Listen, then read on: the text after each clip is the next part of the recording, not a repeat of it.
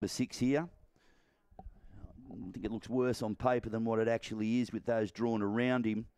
Breakout Boys had support late here for Selena Zamet.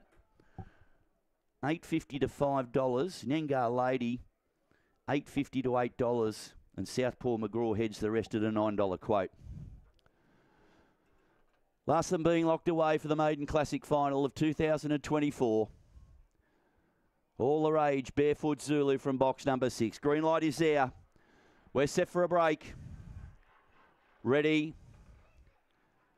Racing Nengar Lady only fairly away. Best out Dusty McGraw showing pace. Zipping Christoph. Barefoot Zulu between those runners makes a surge. Next was Breakout Boy. Sweetest of all. Well back Southpaw McGraw by Munro. And Nengar Lady at the tail. Taking the lead was Barefoot Zulu. He surged, the link clear on Dusty McGraw. Next was Zipping uh, Christoph. But surging clear Barefoot Zulu. He's a star. He's beaten Breakout Boy Dusty McGraw. Close up to those were Zipping Christoph, Southpaw McGraw. Well back my Munro, sweetest of all at the tail, one a long way off them, Nengar Lady. 25 and 10 is the run. Well, he'll miss the track record, but I don't think Stephen Keep would care one iota. A lot of pressure getting this dog to the to the post here tonight.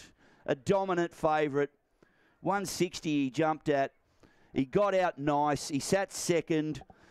Little tiny bit of traffic to uh, negotiate on the top corner, but then he really sets it up on this bend here at Grafton, this big sweeping bend. He loves.